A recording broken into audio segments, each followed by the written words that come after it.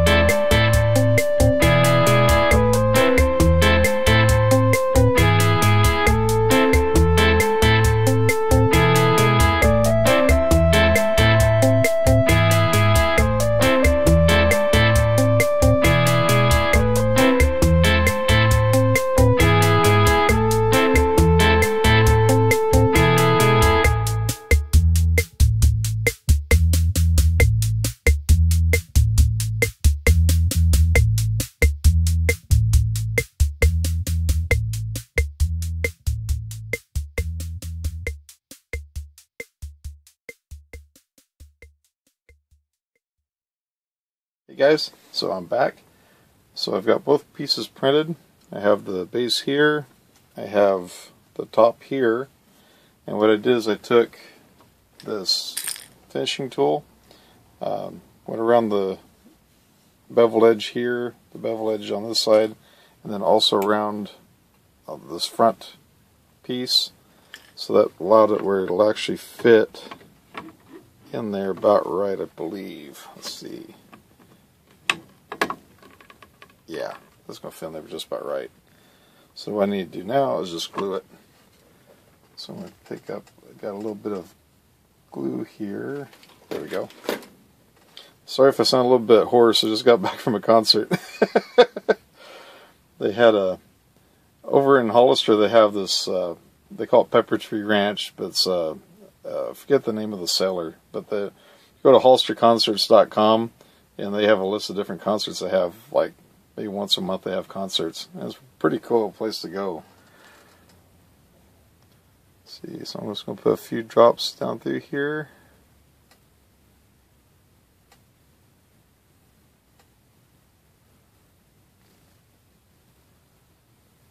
That should work.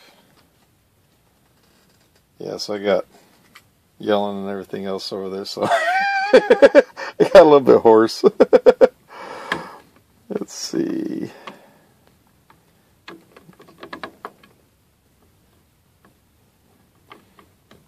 Is that touching the glue.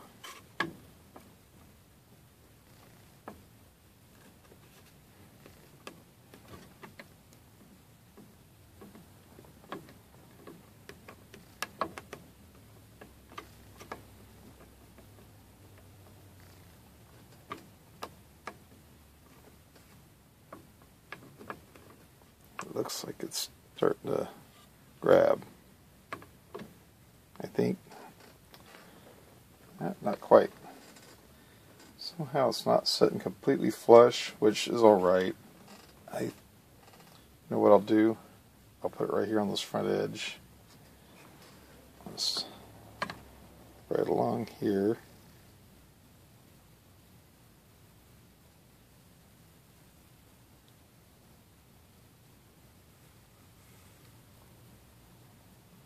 That should work.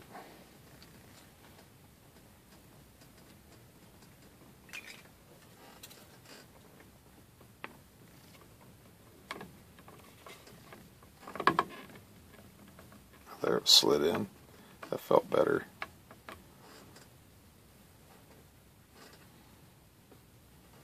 Put a little bit of pressure on it.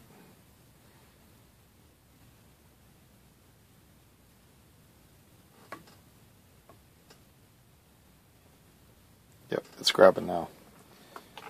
Cool. Let that set up. I'll pull the this off the bed afterward. It's no big deal. Okay, so the glue has set up pretty good, so now I'm going to go ahead and pull this off.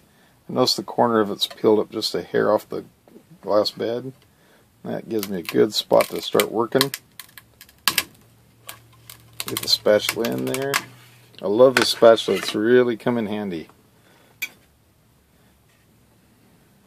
There it is. Let's wash off the glue a little bit. Let's See grab the K cup, see how that fits. Perfect. That will do the job. I want to thank Chuck for letting me borrow the model. I uh, contacted him before I printed it up, and he gave me permission to go ahead and use it. So Chuck, thank you very much for letting me use the model. It's a great model. Uh, unfortunately, I did have to, to do some adjustments on it. but it worked out for the best. I think it printed out a lot nicer. A whole lot better than what this this came out. Uh, you can see where it printed up so high and then shifted over about the last 13 millimeters of it. So anyway, that's that's going to turn out good. And uh, my wife's birthday is next Tuesday. I'll have this ready for her. She kind of knows about it. So I already told her I was, I was fixing up something for her on the printer. I don't know if she got in here to see what I made for her yet or not. anyway, I'll get that all set up for her. Well, thank you very much, Chuck. And I want to thank all of you for watching. If you like this video, please give it a thumbs up. If you like my channel, please subscribe. I sure appreciate it. Have a great day. Take care. Bye.